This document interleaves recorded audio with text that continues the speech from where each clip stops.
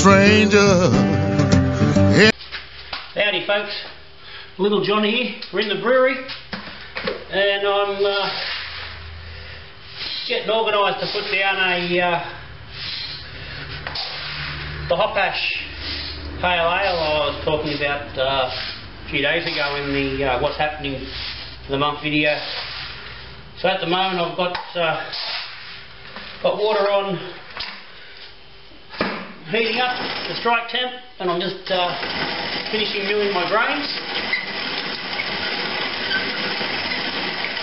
As you see I use uh, the old trusty Corona hand mill. Uh, it was cheap uh, when I needed the mill.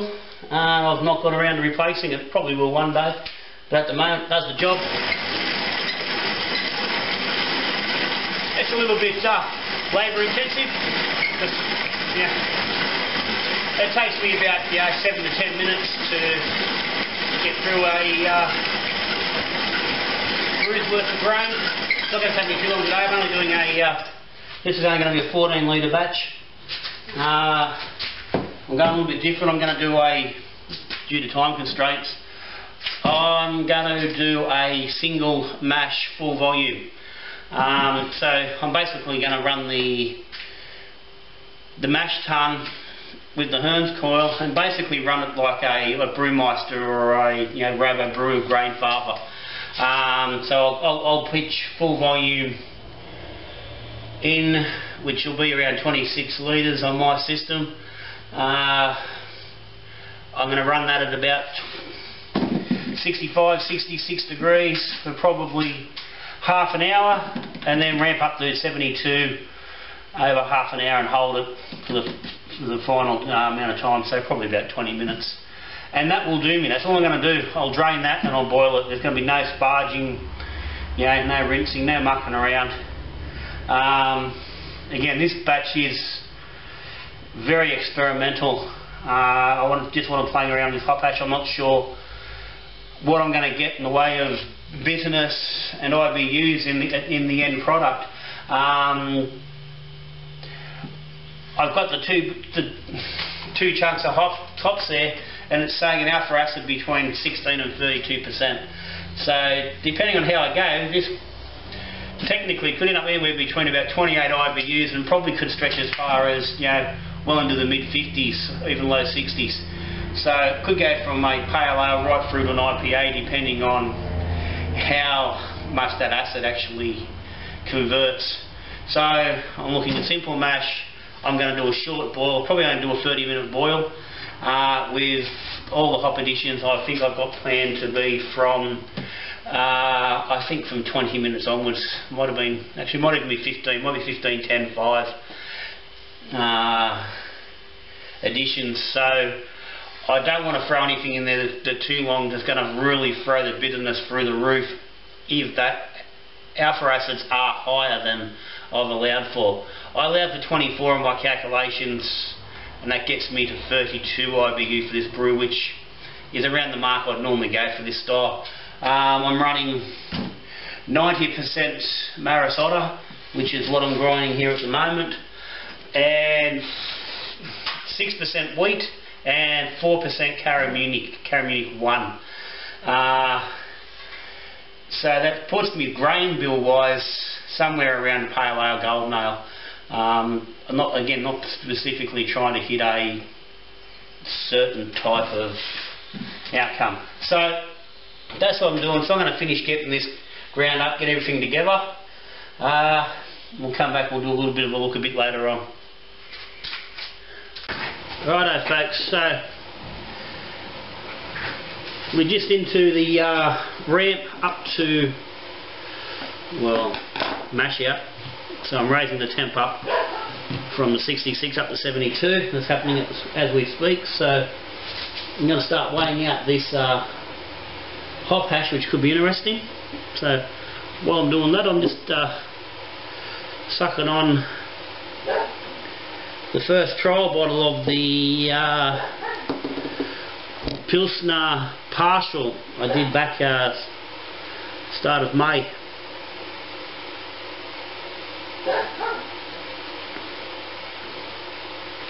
The one I did up to the father-in-law. A video a couple of uh, couple of videos ago, and that's not tasting too bad. It's a bit lacking on head. Could probably do with another week. I bottled that into the PET bottles because I didn't have any, I couldn't get hold of any glass. Um, the bottle wasn't really rock solid, so might need a little bit longer. It's been pretty cool here. We've got obviously getting the winter. Uh, shed's only sitting on sort of 16 degrees during the day, so that's alright. Nice new glasses. I scored these today. Uh, someone linked up a post on the uh, on the Aussie Home Brewer Facebook page uh, to an eBay link. They were selling 20 of the Headmaster brand Empire schooner glasses. Um, I have been using uh, Empire style um, they're 330 mil glasses. Sorry, 360 mils. They work really good for the for little stubbies, and I've been using them. Um, these come up now. It was 20 bucks delivered for 24 of them, which was bargain shopping. So I jumped on it. I went down today, picked them up, and lo and behold, there's two boxes of them sitting there. Bargain. So I've got 48 uh, beautiful, really heavy schooner glasses, Headmaster, for 20 bucks.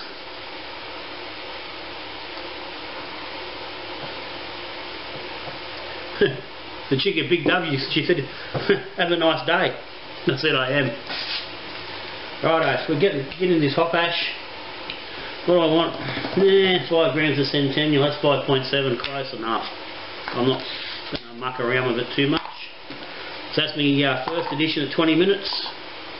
I wasn't sure before, but it's, it's 20. Uh, second edition, well, we'll do this one here while we're going. We've got 10 gram of Centennial, which will be the uh, third edition. That's going to be at 5 minutes.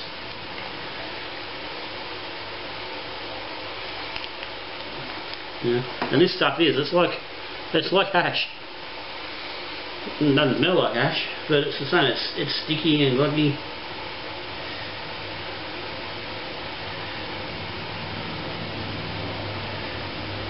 No, that's a bit un, uh, nearly 11 grams. But oh, it smells wicked. I'm, I'm really looking forward to seeing how this turns out. So that's the Centennial, 5 grams at 20 minutes. There's a 10 gram dash there at 5. And then we've got the Eldorado. Yeah, I managed to bust into this when I first got it, just have a sort of look at it. And again, you know, the copper pull jug with that did have a bloody fit. So, there we go. So we're looking again 5 grams of the Eldorado for a 10 minute edition. Nice little chunk there. I'll say this is actually a little bit easier to work with than I thought it was going to be. I thought it might have been a little bit more sticky and whatnot, but no. So there's a bit over 5 grams for the Eldorado. As I said, that's going at 10. And there'll be another 5 grams of Eldorado, which will also go at 5 minutes with the uh, other Centennial.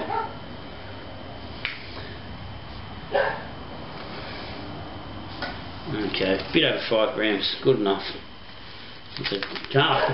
No good trying to be precise because I don't even know how to even start measuring the apparatus on this stuff. So that's done. So that's ready to go.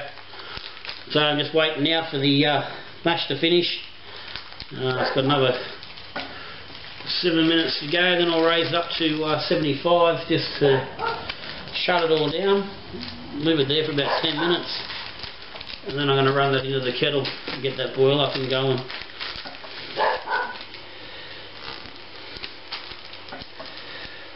So in the meantime, I'm going to continue drinking this one.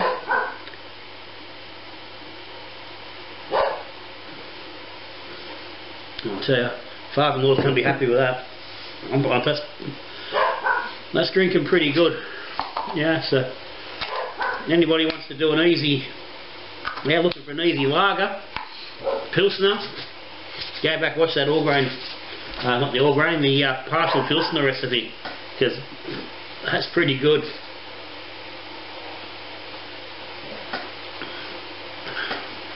Righto, I'll get on with the rest of it. Righto folks, end of the day, uh, just waiting on the uh, final settling here before I transfer to the fermenter. Got uh, just under 17 litres in there, so it's going to come out pretty close to me 14 litres, which was my target uh, volume. I think I might have been a few points under. Um, the gravity from the earlier check, I'm probably going to, I was aiming for 1046. Looks like I'm probably going to be around 1043. Um, and that's probably just from not adjusting my efficiency settings down. I've left it on the uh,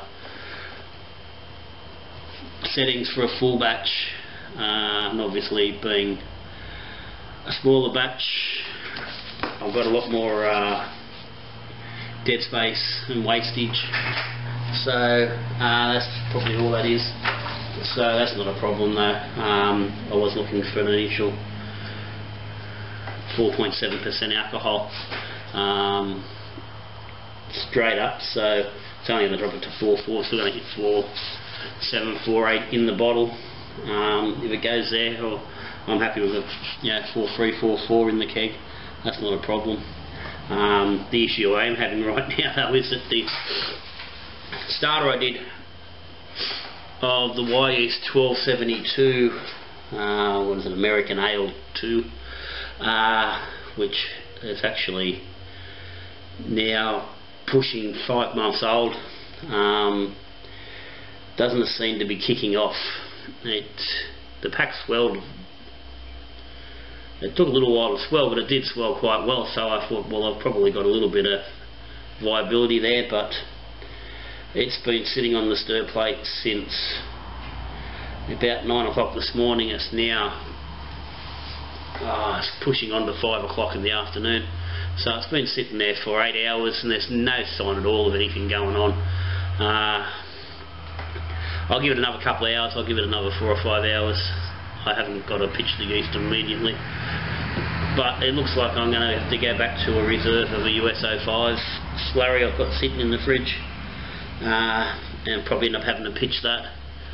It's not too much of an issue, but I was interested. I've never used a 1272 before. Um, but this is what's going to happen if you're going to leave them sitting around for months and not use the bloody things. So, so that's where we've ended up. That'll, I'll call that a day. I'm not going to worry about it again. You know how to put stuff into fermenters. Um, so yeah, so that's the hop hash ale.